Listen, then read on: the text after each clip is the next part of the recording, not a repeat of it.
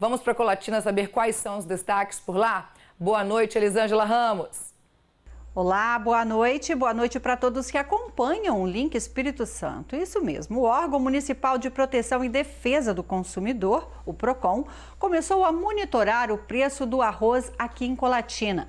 O objetivo é identificar uma eventual especulação no valor do produto aqui na cidade a oferta do alimento nos mercados, assim como a variação dos preços, será analisada semanalmente pelo órgão. Eu conversei com a coordenadora do PROCON. Diante da preocupação do colatinense, o PROCON aqui do município realizou uma pesquisa entre os supermercados da cidade a respeito do valor do arroz e também da limitação na sua compra. Para falar sobre esse assunto, nós conversamos agora com a coordenadora do PROCON Colatina. Viviane, conta pra gente, né, como surgiu aí essa pesquisa, o que levou vocês a realizá-la? Olá. É, então, com essa preocupação toda com o Rio Grande do Sul, um dos maiores fornecedores de arroz, nós começamos a receber aqui no município de Colatina muitas demandas, muita, a, a preocupação dos munícipes em relação à precificação e também essas informações, até mesmo de denúncia a respeito da limitação do produto. E nós sabemos que não é uma determinação da associação, né? Isso, na verdade é até interessante a gente já frisar que a limitação do produto é, ela é uma prática abusiva considerada pelo Código de Defesa do Consumidor quando ela é injustificável.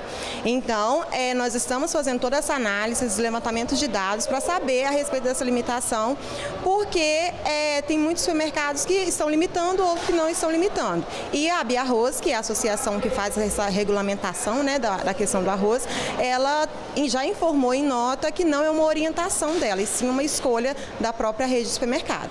E o que foi é, encontrado né, durante essa pesquisa nos supermercados aqui da cidade?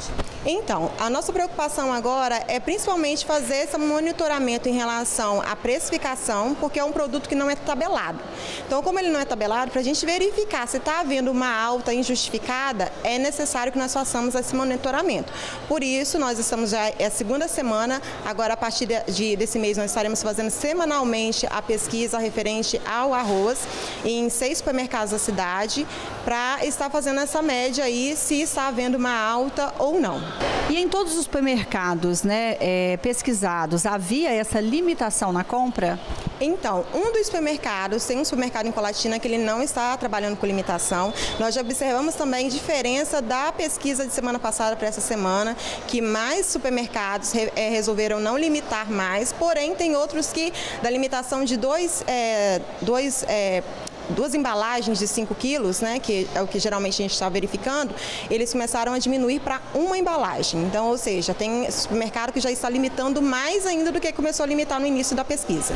E se as pessoas começarem também a comprar demasiadamente o arroz com medo de faltar, também não é bom, né, Viviane? Não, com certeza não. E até mesmo é interessante frisar que não temos dados ainda sobre essa questão da falta de arroz. Ao que tudo indica, por todos os meios de comunicação que nós verificamos, é, é, é quase impossível que haja essa falta de arroz. Então, o consumidor não precisa desesperar e ir para o supermercado lotar os seus estoques em casa.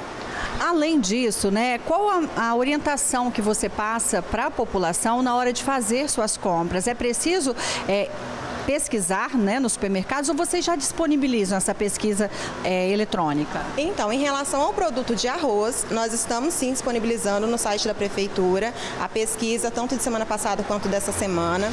E é interessante sim fazer essa análise, fazer essa pesquisa, porque de semana passada para essa semana nós já verificamos baixa no produto de embalagem de 2 quilos de até R$ 2,50. Então, vale a pena fazer essa pesquisa.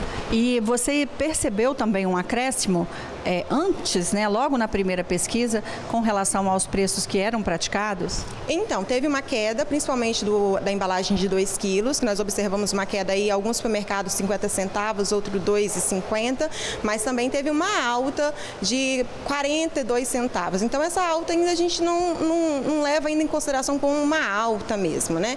Mas já teve sim uma diferença mínima, mas já teve sim uma diferença no produto de embalagem de 5 quilos. É possível também dar alguma dica para as pessoas para utilizarem um outro produto, uma substituição? Sim, isso que é interessante. Quando a gente fala a questão da limitação, é, ela se torna uma prática abusiva quando ela é injustificada. Né? A diferença do arroz, que está acontecendo agora para o álcool gel, que eu acho que é interessante a gente é, frisar esse ponto, né, do álcool 70, que foi algo que tem um momento da pandemia que muitas pessoas precisaram, então foi realmente um produto limitado. Agora o arroz não, e saber que a gente também pode fazer essa mudança para um macarrão, existem outros carboidratos que podem estar substituindo sim o arroz. E se a população tiver dúvidas ou queira fazer alguma reclamação, quais os canais de atendimento do PROCON? Isso é muito importante a atuação da, da, da população nesses momentos. Então, verificou alguma demanda, queira fazer uma denúncia, nós temos tanto o nosso canal é, online, que é o nosso e-mail, procon.colatina.es.gov.br e temos também o nosso contato telefônico 3721 1313 ou presencialmente também aqui no shopping.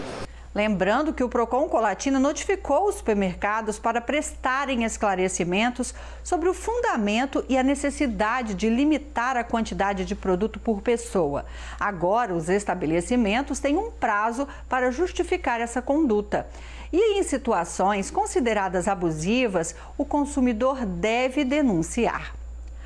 Agora, uma última informação. Acontece neste sábado dia D de vacinação contra a polio aqui em Colatina. A vacinação é destinada aos pequenos menores de 5 anos de idade, reforçando a proteção contra esta grave doença. Para a criança receber a vacina, é preciso que o responsável leve o cartão de vacinação e o cartão do SUS. O dia D de vacinação acontece em Colatina na estação central, das 8 da manhã ao meio-dia, com distribuição de senhas até às 11 horas da manhã. Além disso, os grupos contemplados também poderão ser imunizados com as vacinas contra influenza, Covid e dengue. Então, é importante estar ligado, atento a essas informações e também cuidando da saúde. Por hoje é só. Ótima noite para todos e amanhã estamos de volta aqui no Link Especial de sábado. Volto com você no estúdio.